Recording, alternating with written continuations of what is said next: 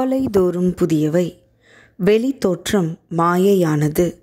பிப்ரவரி பதினாறு. மனுஷன் பார்க்கிறபடி நான் பாரேன். மனுஷன் முகத்தை பார்ப்பான்.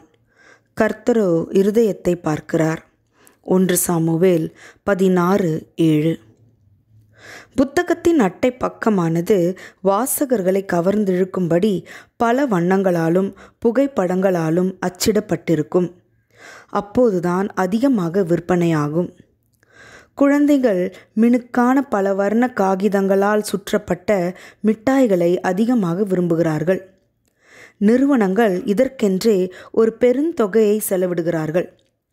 நம்முடைய வெளித்தோற்றத்திற்காக எவ்வளவு பணத்தை செலவழிக்கிறோம்?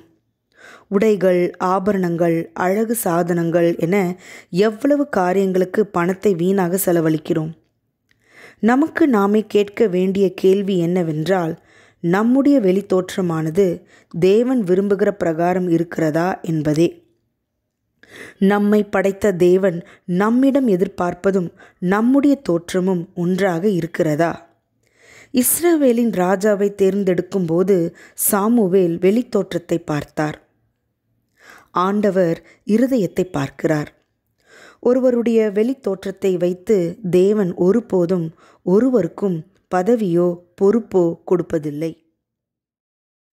மயிரை பின்னி பொன் ஆபரணங்களை அணிந்து உயர்ந்த வஸ்திரங்களை உடுத்தி கொள்ளுதல் ஆகிய புறம்பான அலங்கரிப்பு உங்களுக்கு அலங்காரமாயிராமல் அழியாத அலங்கரிப்பாய் இருக்கின்ற சாந்தமும் அமைதலும் அல்ல ஆவியே ஆகிய இருதயத்தில் மறைந்திருக்கிற குணமே உங்களுக்கு அலங்காரமாய் இருக்க கடவது.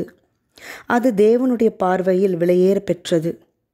சில பெண்கள் தலையிலிருந்து கால் வரை ஒரே வண்ணத்தில் இருக்க வேண்டும் என்று தோல் பைகளையும் கை பைகளையும் செருப்புகளையும் உடைகளையும் வாங்கி குவிக்கின்றனர். தேவன் ஒருபோதும் இதை விரும்புவதில்லை. தரமான உடைகளை நாம் நமக்கு கொள்ளலாம் ஆனால் அதிக அளவில் கூடாது. ஆண்கள் எப்படி உடை அணிய வேண்டும் என்று எந்த வேதாகம வசனமும் சொல்லவில்லை. ஆனால் ஆண்களுக்கு சிறந்த உதாரணமாக இயேசு கிறிஸ்து இருந்தார். மிகவும் சாதாரணமாகவும் எளிமையாகவும் மக்களிடையே இருந்தார். ஒரு வருடத்தில் உங்கள் வெளித்தோற்றத்திற்காக எவ்வளவு பணம் செலவழிக்கிறீர்கள் என்று கணக்கு போட்டு பாருங்கள். அதிகமாக செலவழிக்கும் பணத்தை வைத்து எத்தனை பேரின் பசியை போக்கலாம்? எத்தனை குழந்தைகளை படிக்க வைக்கலாம்? ஒரு உள்ளான மாற்றத்தை உங்கள் வாழ்வில் கொண்டு வரும்படியாக ஆண்டவர் உங்களை அழைக்கிறார். ஜபம். அன்புள்ள ஆண்டவரே எங்கள் உள்ளான அழகை நாங்கள் மேம்படுத்தக்கூடியவர்களாய் இருக்க எங்களுக்கு பலன் தாரும். ஆமேன்.